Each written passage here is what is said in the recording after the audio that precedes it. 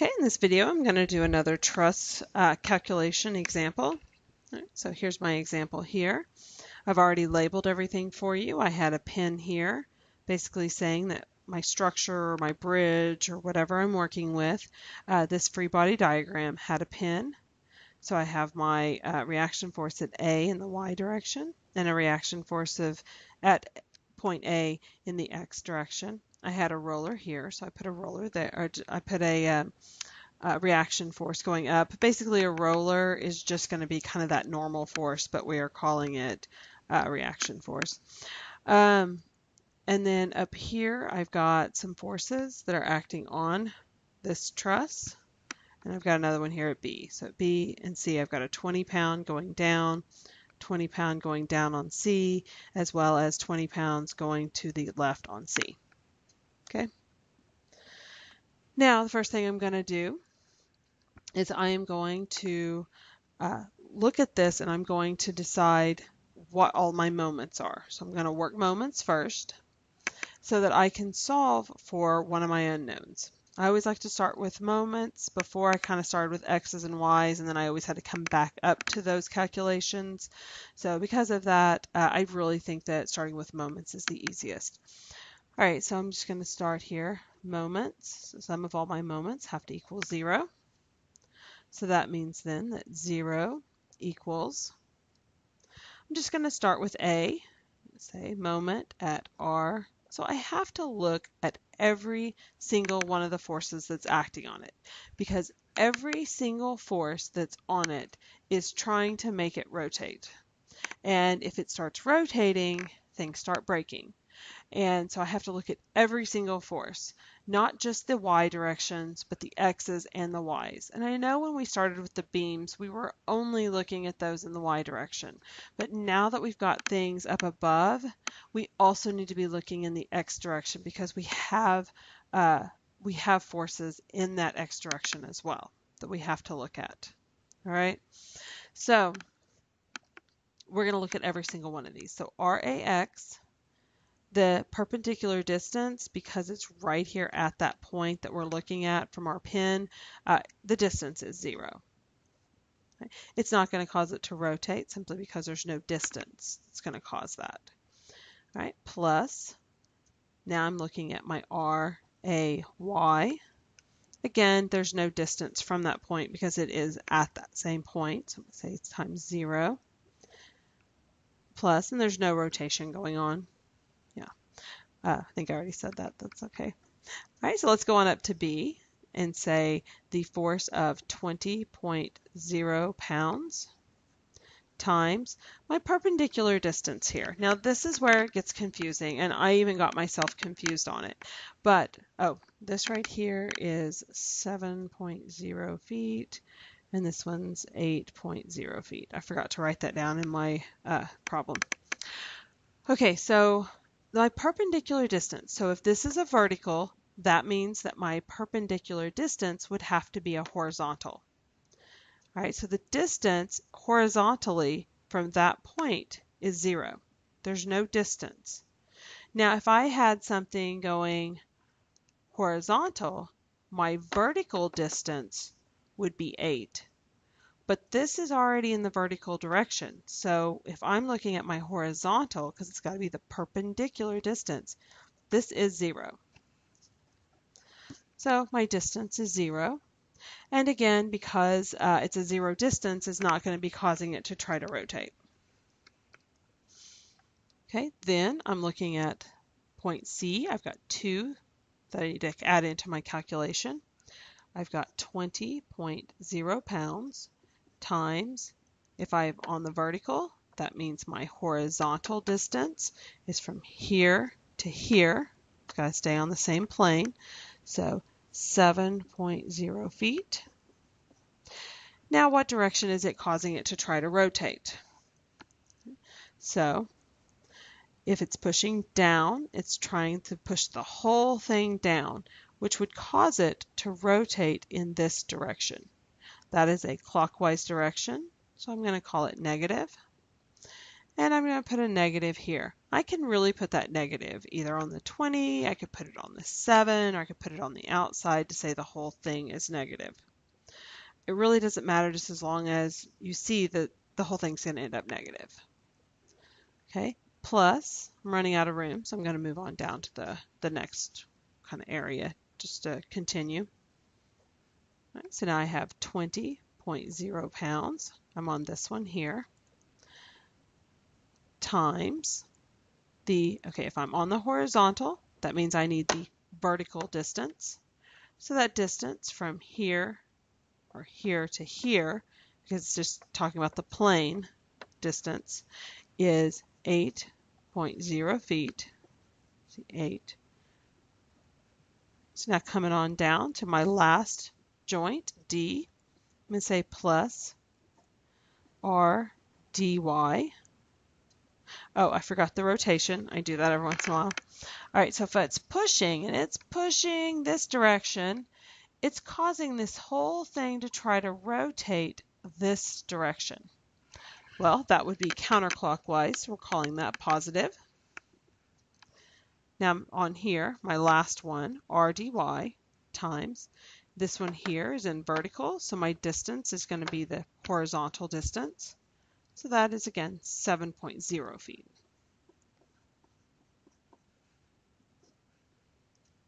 Okay, that's all set equal to zero. And then this one here, as we try to push it up, it's causing this whole thing to try to rotate in that direction, right, up and around. So it's trying to rotate in a counterclockwise direction. So again, that's positive. Set it all equal to zero. So once I calculate this, I know that this is going to be zero. Now, my reaction force, it doesn't matter what it is. It could be 10,000, it could be 10 million, but times zero, the whole thing is zero. So it doesn't make RAX zero. It just says that, you know, RAX could be you know, 5.952 times zero. Well, this whole set becomes zero.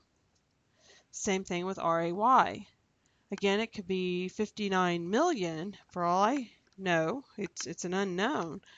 But that times zero still makes it zero, no matter what it is. All right, so 20 times zero is zero.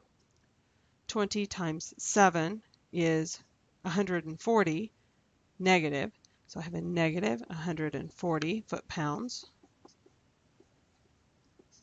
It's rotating here. Okay. Then here I've got 160 foot-pounds. So I'm going to say 0 equals 140 negative plus 160 gives me 20 foot-pounds. Okay, plus R dy times 7.0 feet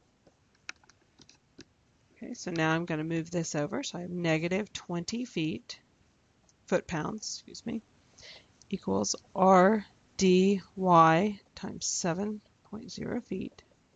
And divide it by 7.0 feet. So those cancel out. 7.0 feet. Feet cancel out. And it gives me R dy equals negative 2.86 pounds. So I'm left with pounds. So I'm going to go ahead and put that in equals negative 2.86 pounds. And notice now my arrow is incorrect then. It's actually going down because it's negative. Okay, so next thing I need to do is solve for my RAX and my RAY. RAX, let's just start there. So the sum of all my forces in my x have to equal 0. So that means that 0 equals, I'm going to look at all of my x's and add them together then. R, A, X. My only other one is this one here. So I'm going to say plus a negative, because it's going to the left, 20.0 pounds. So that means that RAX is equal to 20.0 pounds. So I'm going to go ahead and put that in.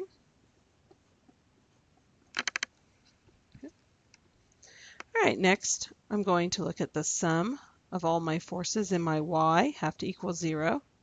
So that means then that 0 equals just going to kind of go through and add them all up. I have an r, a, y. Here I have a y direction. So I'm going to say plus a negative 20.0 pounds. Moving on over here, I have an x and a y. I'm only looking at the y's right now. So again, a negative 20.0 pounds. Okay, moving to the last joint, I have going down plus, plus a negative 2.86 pounds. Okay, so I calculate that.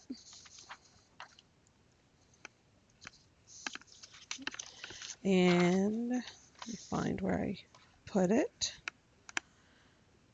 So I add each of these up and I have R, A, Y plus a negative 42.86 pounds, all equals zero. So that means that R, A, Y equals 42.86 pounds. So go ahead and put that in. All right, so I have all my reaction forces figured up. Okay, go ahead and kind of circle those so it's easy to find for the grader. Makes the grader happy, makes you get better grades because I don't count off as much when I can find your answers. Okay, so next thing I need to do is I need to find my members. So I've got these reaction forces, but I really need to know how much force is acting on each of those members themselves. So I have member AD here.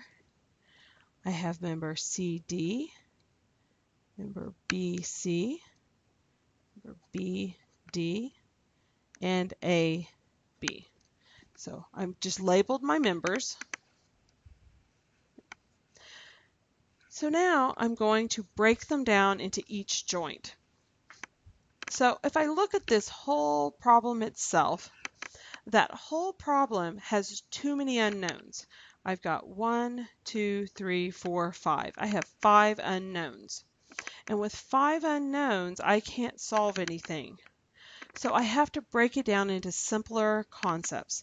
So at each joint, it has to follow the same rules. Every joint, all the forces in the x have to be zero. All the forces in the y have to be zero. So whenever I'm looking at this, uh, I can break it down. I can look at A, okay, so if I just draw A, it's going to look something like this. Now, my member AB, I'm going to assume is under tension until, you know, if it becomes negative, then I know I was wrong and it was under compression. But I first have to assume until I know. Okay, this is AD. Again, we're assuming it's under tension unless I find out that it's compression with the negative. Okay, I know this value right here is 20.0 pounds. Okay, I know that this one right here is 42 0.86 pounds.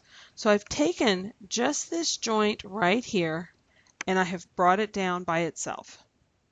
Well now I have two unknowns, but in the sum of all my forces in my x, I only have one. Sum of all my forces in my y, I only have one unknown. So I can solve for each of these. And you can pretty much look at it and tell that these are both under compression. But let's go ahead and do the math. So sum of all the forces in the x equals, okay, here's my x's. So this one's going to the right, so I'm going to say 20.0 pounds. This one's also going to the right, so I'm going to say plus AD. All has to equal 0. Okay, so that means then that AD equals a negative 20.0 pounds. So I'm going to go ahead and change this arrow because a negative here means it's under compression. And I'm going to change the arrow to the direction it actually is. So AD equals 20.0 pounds under compression. So now sum of all my forces in my y have to equal 0. So that means then these y's, I have AB, it's going up. This one's also going up, so I say plus 42.86 pounds, all equals 0. So I know then that AB equals negative 42.86 pounds. Again, that means it's under compression because it's a negative. So I'm going to go ahead here and I'm going to erase this one and make that arrow going down. Okay, and I'm going to say AB equals 42.86 pounds under compression.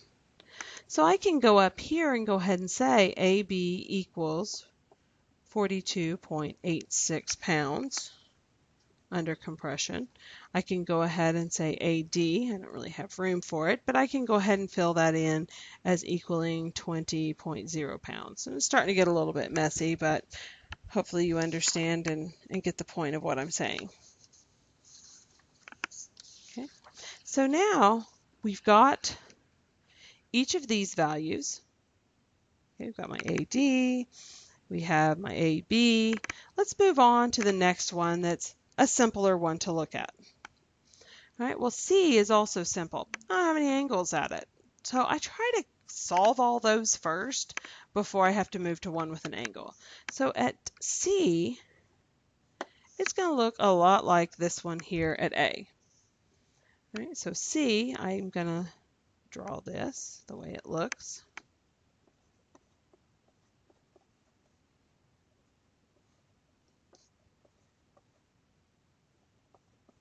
Okay, so these are right here. Right, I'm just pulling down. I'm looking at C, I'm breaking it apart by itself. Okay, then I have these members. We're assuming under tension. So this is uh, my members, and this is member BC, and this is member CD. So I just took this right here that kind of drew a little box around, I took that joint and I brought it down. Okay, again, all my forces in my x have to equal 0.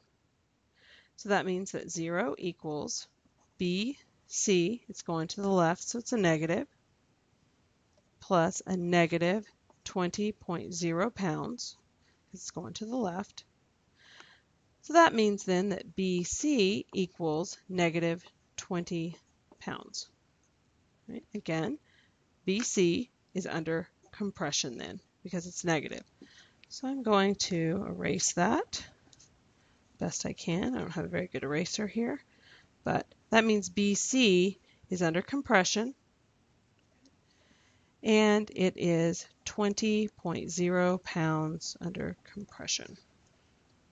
Went ahead and filled that in.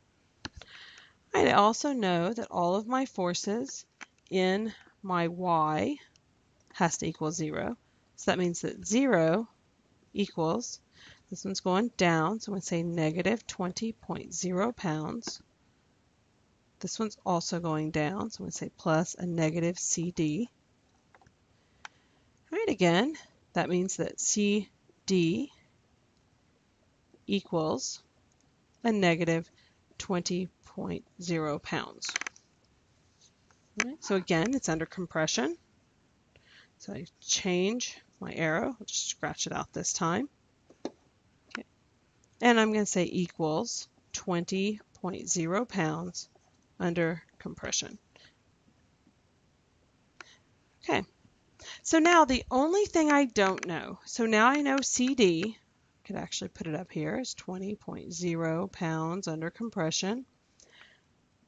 I know BC equals again negative 20 or excuse me 20 pounds under compression. Again, this stuff's just getting kind of I should have drawn it a little bit bigger. Hopefully you drew a little bit bigger picture. All right, so I have AB, it's 42.86 pounds under compression. I have AD, uh, looks like 20.0 pounds under compression. I have found BC to be 20.0 pounds under compression. And I've also found CD to be 20.0 pounds under compression. I have not found BD yet. So at this point, I can either pick uh, point B or I can pick point D. Just my personal preference, I'm going to go ahead and pick point D simply because it's the roller. It really doesn't matter because you're going to be able to solve either one. I'm just going to bring in a piece of paper up here. And this is at joint D. So I'm just going to take this joint here and I'm going to redraw it. Right? I know this one is under compression. Right? CD I know equals 20.0 pounds and it's under compression. That's why I'm pointing at this direction. I also know this one's under compression and I already found it to be AD and it equals 20.0 pounds under compression. Right, and I also know that there is another force right here that is a reaction force let's see, yeah, dy, which equals negative 2.86 pounds. And then I have, I'm going to assume this is under tension. Okay, because I have to assume they're always under tension unless I find it's negative. And this one here is So I'm just drawing, again, this is the one I'm isolating. I'm just isolating this joint. And again, I isolate the joint so that uh, I'd have fewer unknowns. They still have to follow those same rules. All of my forces, the sum of all of my forces in my x has to equal 0. So I'm going to start there.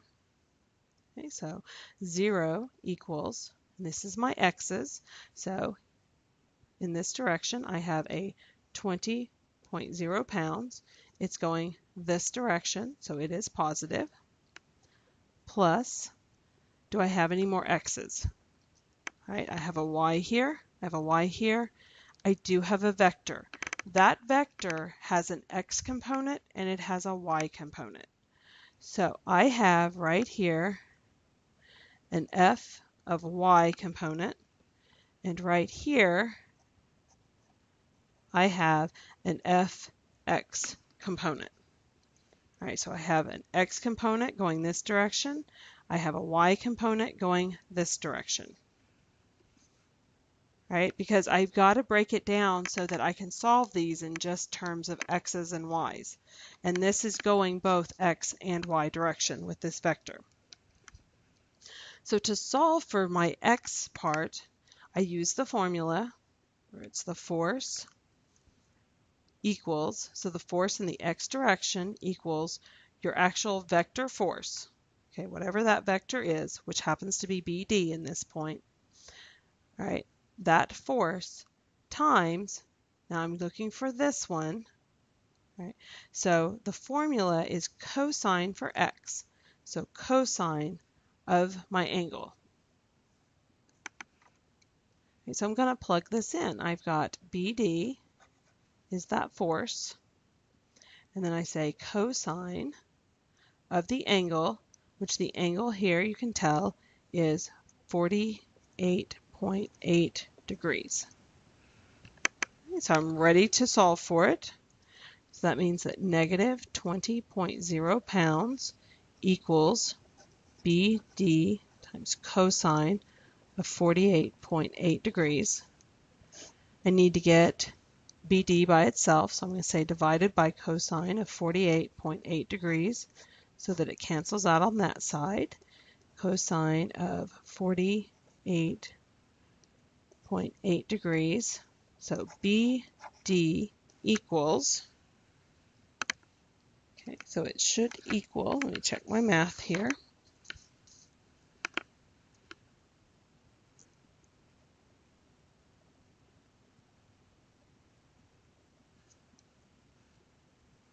Oh, wait. I've got to change my negative here. BD was going in the x direction, the negative x direction. Hate it when I mess up right at the end of a video because it's going to take too long to remake it. So this x direction is in the negative direction. So that made this all positive because I would have just moved the BD over, making it positive. Okay, so I'm just going to make that a positive. So now that makes it a positive 30.4 pounds. Okay, got to watch those signs or I would have missed that. So now I know BD is positive, so it's under tension, so I leave it alone. All right, so at this point, I want you to actually write these out as each one. I want you to put BD equals 30.4 pounds. Make sure you get those units in there and say under tension. Right? Show the others as under compression so that you can get all your points. Okay, hopefully this helped.